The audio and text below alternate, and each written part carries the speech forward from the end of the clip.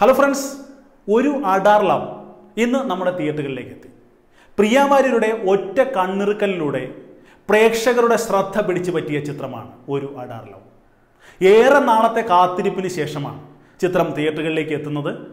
ചെറുപ്പക്കാർക്കിടയിൽ വലിയ പ്രതീക്ഷകളാണ് ഈ ചിത്രം ഇതിനോടകം തന്നെ സമ്മാനിച്ചത്.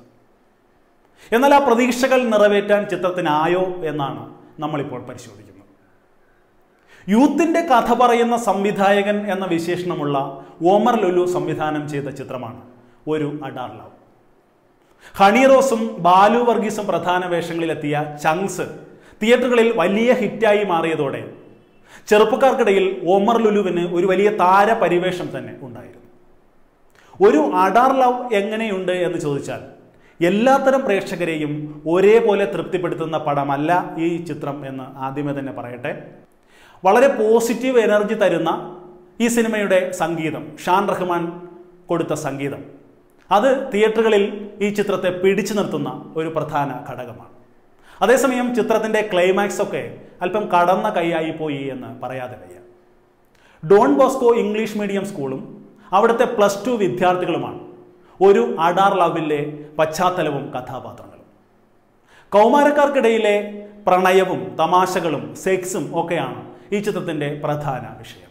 ഇന്ന് സ്കൂളിലും കോളേജിലുമൊക്കെ സാധാരണയായി ഉപയോഗിക്കുന്ന വാക്കുകൾ തമാശകൾ ദ്വയാർത്ഥ പ്രയോഗങ്ങൾ ഇവയൊക്കെ യഥേഷ്ടം ഉപയോഗിച്ചുകൊണ്ടാണ് ഈ സിനിമയിലെ തമാശകളൊക്കെ തന്നെ സൃഷ്ടിച്ചിരിക്കുന്നത്.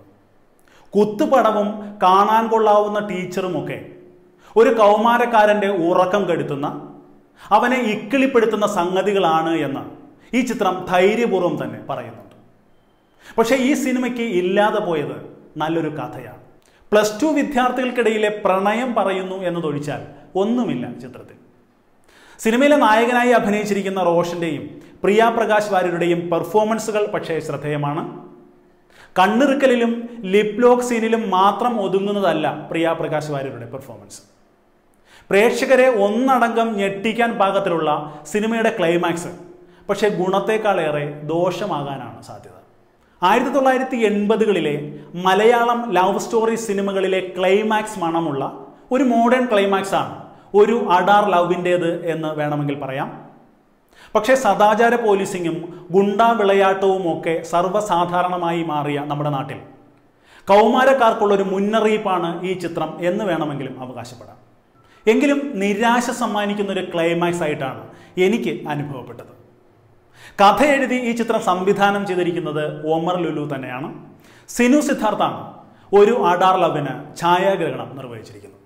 ഈ സിനിമയ്ക്ക് സംഗീതം പകർന്നിരിക്കുന്നത് ഷാൻ റഹ്മാനാണ്. ഞാൻ ആദ്യം പറഞ്ഞതുപോലെ ഈ സിനിമയിലെ ഏറ്റവും ശ്രദ്ധേയമായ ഘടകം അതിന്റെ സംഗീതം തന്നെയാണ്.